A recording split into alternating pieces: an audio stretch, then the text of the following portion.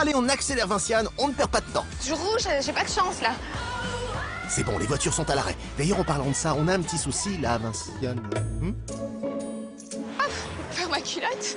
Ça va être l'émission euh, Déshabillez-moi là, parce qu'avec le truc, ça me déshabille. Ah bon, tu perds ton pantalon? La preuve par l'image, Christina. Fort heureusement, c'est toujours muni de son pantalon que Vinciane débarque dans sa première boutique.